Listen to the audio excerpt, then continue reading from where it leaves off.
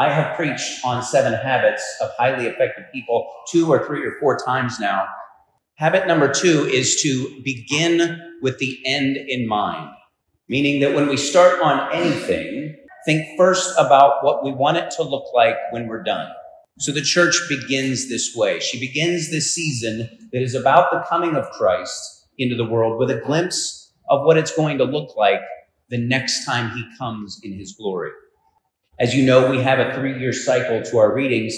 So next year, we're going to read from, at this Mass, uh, the Gospel of Luke. And Luke talks about signs in the sun and the moon and the stars, and that the Son of Man will come in glory and power.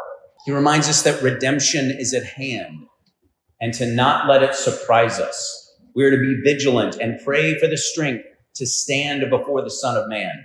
Last year at this time, we heard from the Gospel of Matthew. He told us to stay awake because we do not know the day when the Lord will come. The Son of Man will come at an hour that we do not expect.